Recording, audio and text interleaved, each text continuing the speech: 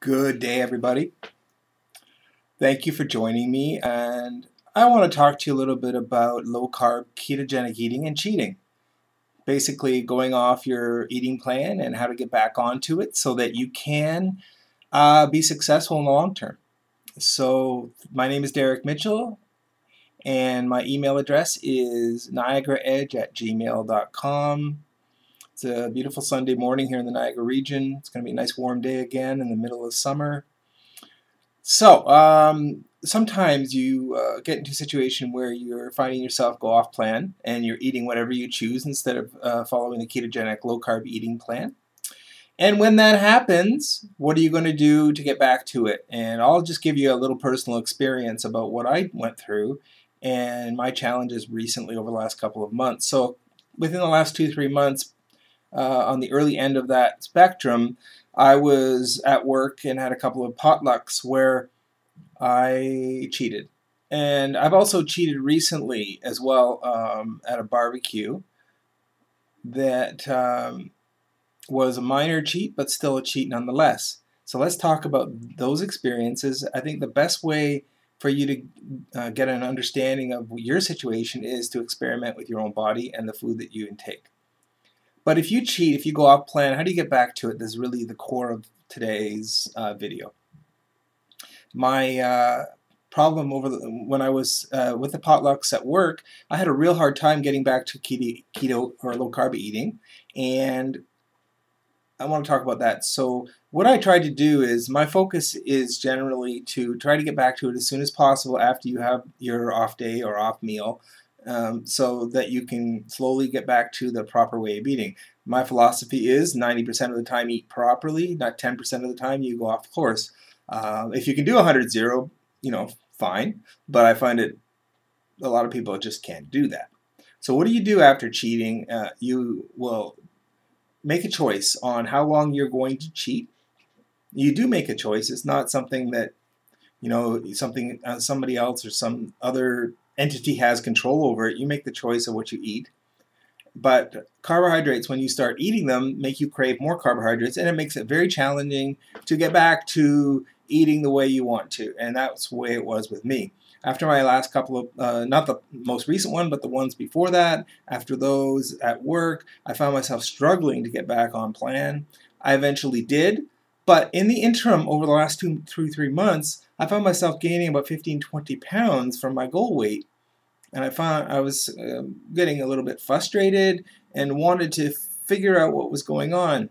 So what I needed to do was experiment and just try to eat the best way I could, get physical activity, but not to the point where you're pushing your body too hard because you don't want hormones such as cortisol being released in your body and therefore frustrating the experience even more. And I think that's what happened with me is that I was stressing myself out about it because I knew the way I was eating was right, but it just wasn't getting the results that I wanted. So what did I do on a practical level is I just tried to straighten it up and eat the most clean way I could and that really helped the experience. Plus, get activity. Go out, and mow the lawn, take walks, um, swim if you like to swim. But be get out of the house when the weather is suitable for it, depending on what you prefer. I prefer the warmer weather. Some people prefer the winter. I do not. So get out there, be active, eat the right things. And the right things for us who are ketogenic are eat healthy fats such as coconut oil, avocado oil, some butter, uh, meat, um, fats from meats, and stay away from those processed veg vegetable oils. And also, when you're gonna you're gonna have uh, you're gonna ingest plenty of fluids, so you don't stay hydrated. So you don't want you want your body to work efficiently, and you want to get a good night's sleep. You want to avoid sugar. Try to avoid sweeteners. To you know, if you need to be have some sweeteners, try to keep it to stevia, maybe erythritol, depending on what works in your body. But experiment. But what do you do after cheating? You get back and you slowly eat the right things. You um, maybe have a. I, I've been including vegetables and, and, with eggs and making frittatas lately. Excellent, very tasty. I can take them to work uh, um, for lunch, and they're very filling, tasty, and they're right on on plan for the ketogenic eating. Um, I still drink coffee. Some people coffee's okay, other people it's not. Dairy, it um, It depends on whether you can tolerate it or not. You need to test yourself. You know, try going without dairy for a week and see if that improves your results. Um, but after my my earlier two potlucks, I found myself still going up in weight, even though I was doing the right things.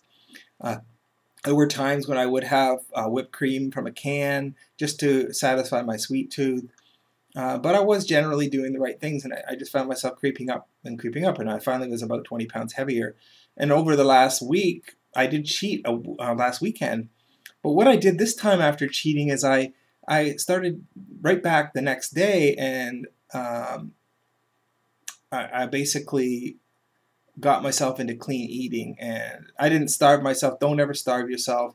But if you choose to intermittent fast, that can work as well. But clean eat, don't eat too much, eat the right things, and just keep moving forward slowly. And you'll find yourself correcting that course. And your cravings for carbohydrates will go away. So that's really what it comes down to. So, and also don't beat yourself up about it. Don't stress yourself out. That makes things worse. If you cheat, make you made the choice to cheat, move forward. Cheating is just going off course. That's all. It's just another word for it. So don't don't let it be a problem. Move forward and you'll be fine. If you do have any questions about anything, including cheating or ketogenic eating or or anything else in that area, I'm happy to address them. My email is niagaraedge at gmail.com. If you do like this video, please like it at the bottom of the YouTube. And if you haven't subscribed and you think you'd like to see more, please subscribe to my YouTube channel. I want to thank you for your time. I hope you have a wonderful weekend, and we will talk soon. Bye.